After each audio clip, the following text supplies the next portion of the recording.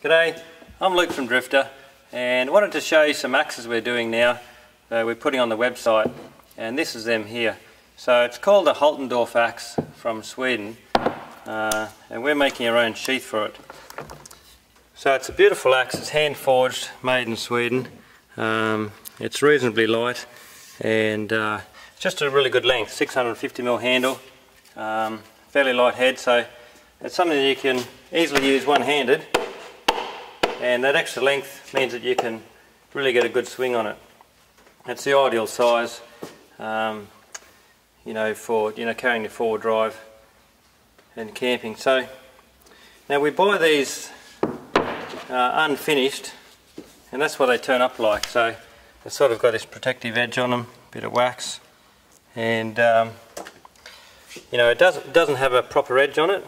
Okay, it's just been rough ground and comes with a sticker on it and a few marks there. So what we're going to do is dress this up dress up the handle sharpen the edge and making it a really nice product. And also we're going to make the sheath. So I'm going to quickly show you you know how we do that. Alright so uh, the first thing is we'll grind up the axe.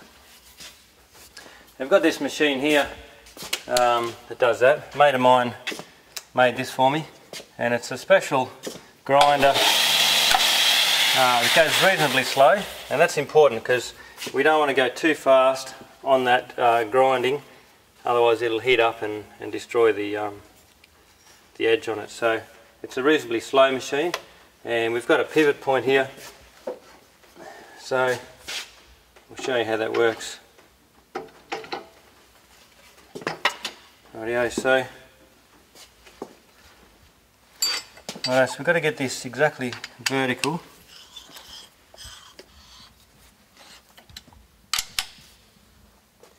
Righto. So, we're just going to start grinding that edge and um,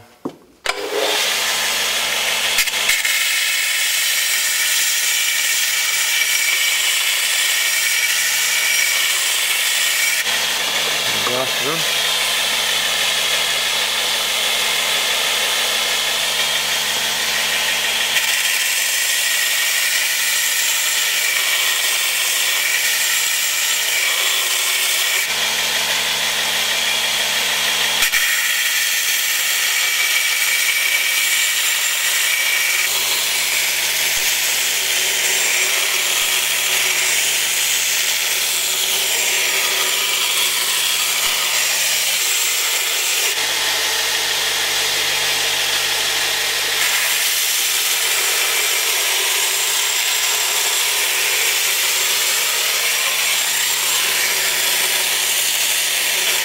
You can see that there, it's just starting to take that off. And we've got this really nice pivot point here, it's adjustable. So we can do each side and get a really nice, you know, curved ground edge. Now that there's got no heat in it. Um, so, and that's what we want, keep it nice and cool.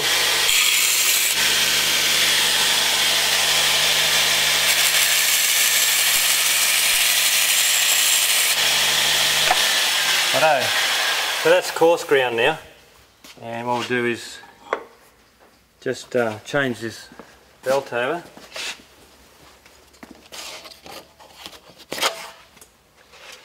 To medium.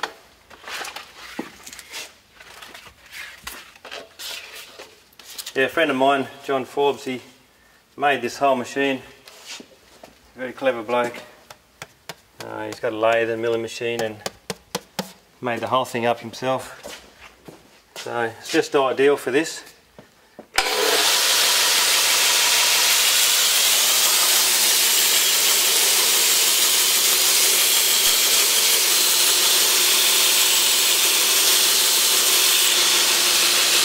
So pretty much now we've, we've got the shape we want and we've taken down, you know, on the rough grind, you know, where we want it to be. Now we're just really giving it a bit of a polish um, you know, from the medium to the fine belt.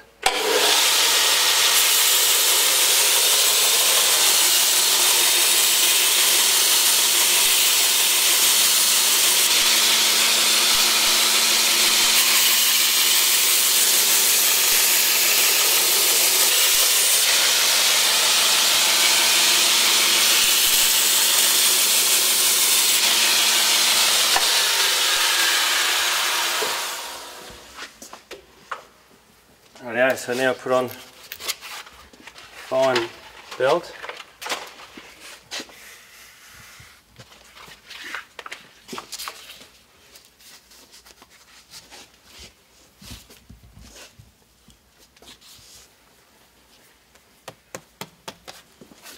and that'll just polish it up nicely.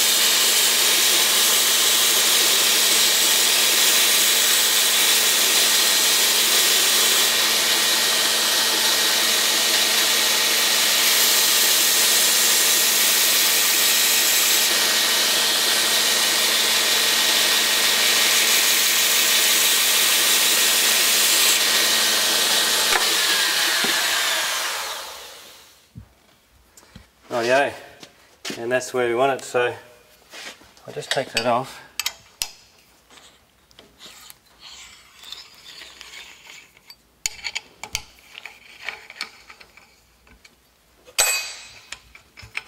It's a fair bit of work and it um, takes a fine touch to get it just right. So at the moment I'm doing all of these myself and um, kind of sort of learning to do it as well. You can see that there. It's a beautiful edge, and um, you know that's. I mean that's basically almost razor sharp right there. Now you can see the difference between the two. Right, that's as we buy them, and that's once we've got it to that stage. So We'll hone that up a little bit shortly. Now, next thing really for the moment is to uh, make that sheath and um, we'll do that here as well. So now this is three and a half mil cowhide. Um, you can see it's beautiful leather, nicely finished. Alright, so we're just going to trace that out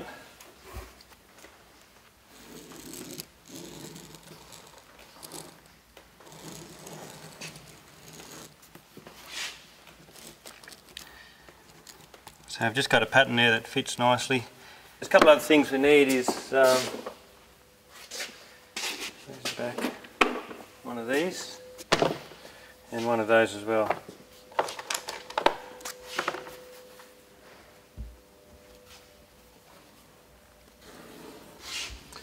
Alright, so we're just going to cut that out. it's a bit of a tricky job. need a basically brand new razor blade. It's thick, leather's very tough.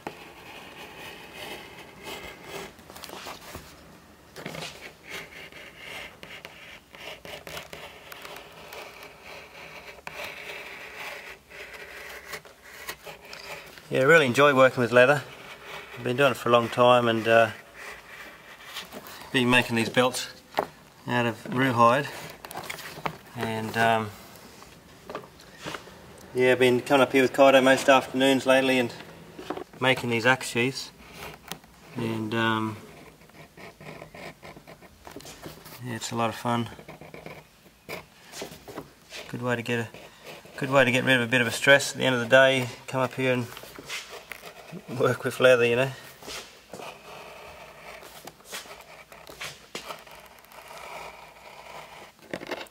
So as you can see, of course, they're all handmade which is you know fairly special. It's rare to get you know an axe sheath like these made in, in Australia, handcrafted. And as you'll see too, there's, there's a lot of work involved. Now this leather's not cheap either. You know, it's quite expensive to have finished cowhide like this.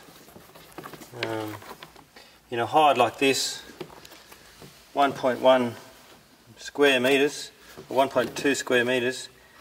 Uh, it's almost almost 200 bucks for a hide that size. So it's quite expensive.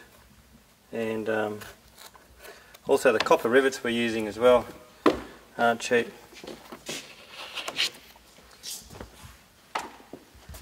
I just cut this piece here out.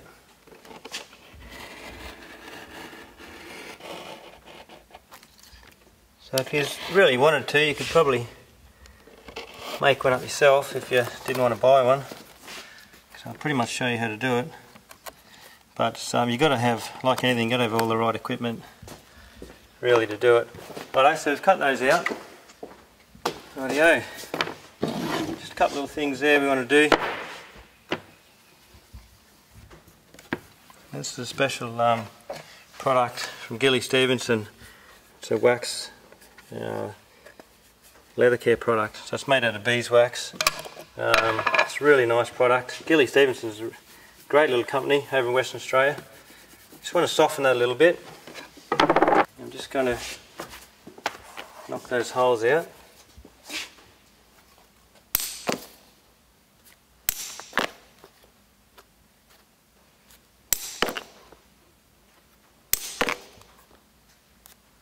It's just a like a leather punch. Made this uh, block up the other day. This is a log that we cut here at Drifta.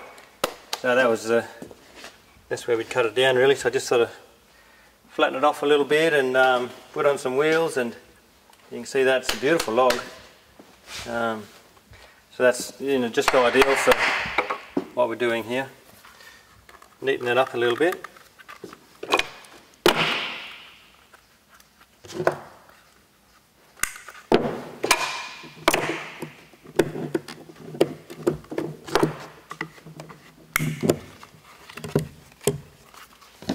We just want to get that nice and even.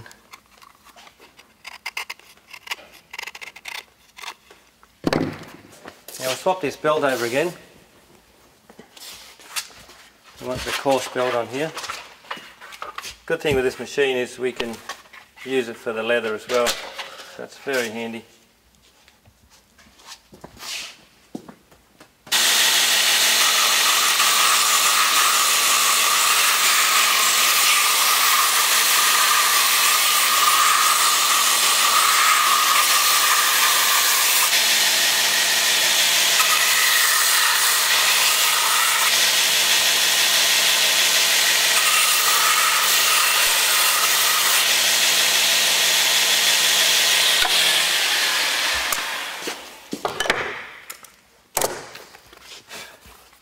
Okay, so we're just going to trim this now, some of the spots, and we'll do the rest later. This little edging tool.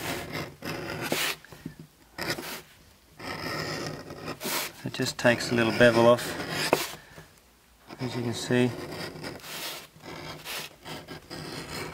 Just puts a really nice finish on them.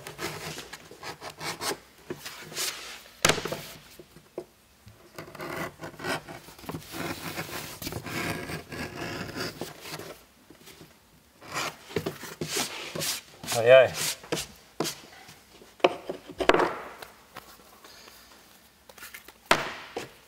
Now this piece here, I'll show you what that's for. You need a bit of depth into the sheath for the uh, head to fit into.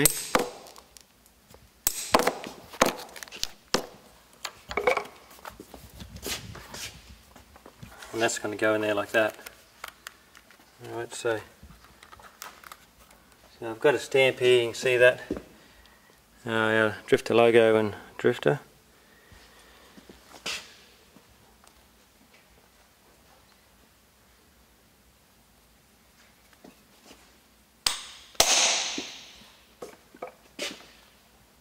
Let's do one more on this side.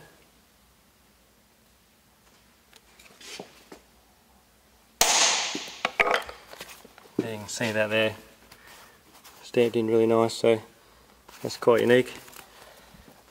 So good thing now is we can uh, stamp someone's name in this really easily. Right, so if you want your name in, we can't write lots of things, you know, but we can basically write your name, no worries.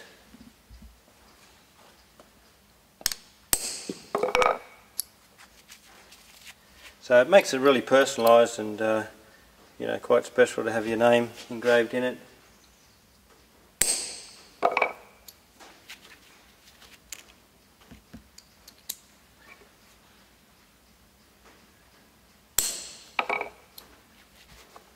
Okay, you can see that there.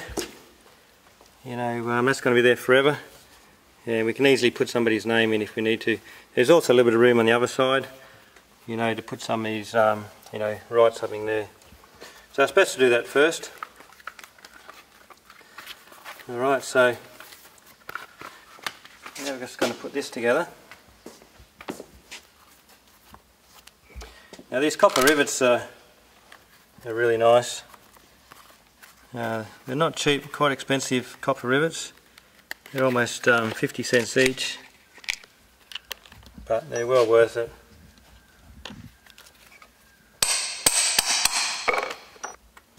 It's just a matter of feeding them through, like that.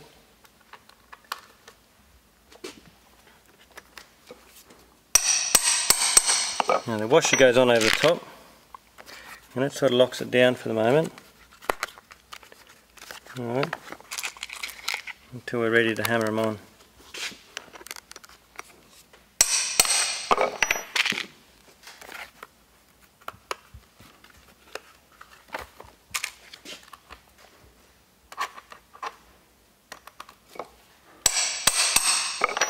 Once these rivets are in, you know they'll never come out.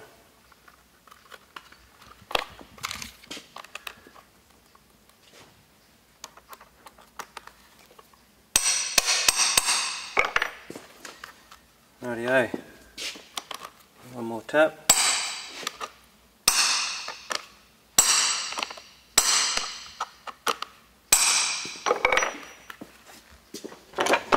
You can see that there, we're just going to cut those ends off. It's important to get them just the right height.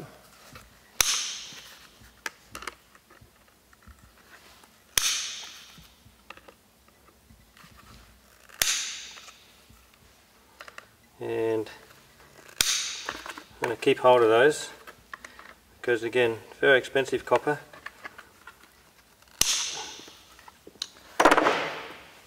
you can see that so we can um, we'll melt that down later on in a little forge and Guido can make something with it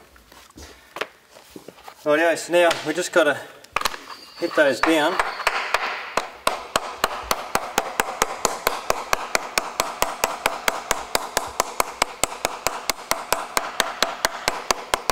it takes a bit of practice to get these right.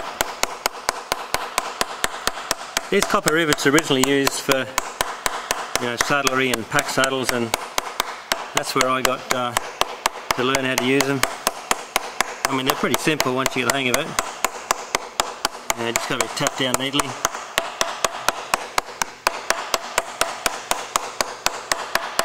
But as you can see quite labour intensive. There's a lot of work making these sheaths.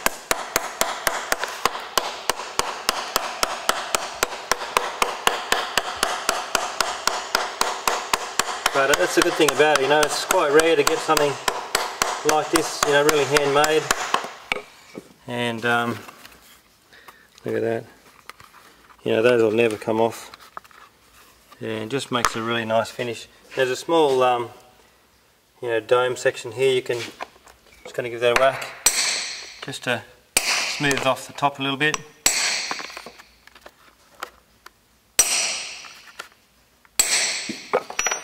Alright, I'll show you a photo here.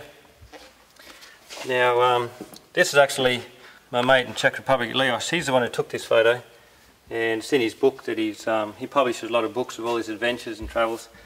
That, of course, is me when I was um, about 22, and it's in the in a saddlery shop um, or or a saddle room in America. I was working there mule packing, and um, I used to love it there after work. I just spent a lot of my time there repairing saddles. There was, you know, uh, 50 years worth of old saddles and bridles and halters and pack saddles, and um, I spent a lot of time in there. So that's sort of where I learned how to do this sort of um, this sort of work, and we used a lot of copper rivets there. So um, yeah, it's quite handy. a lot of my travels about back when I was drifting is um, you know really been handy when I've started the business and a lot of those experiences I had when I was travelling around you know I've really been able to use in in the products we've made and uh, you know the different things we've been able to do.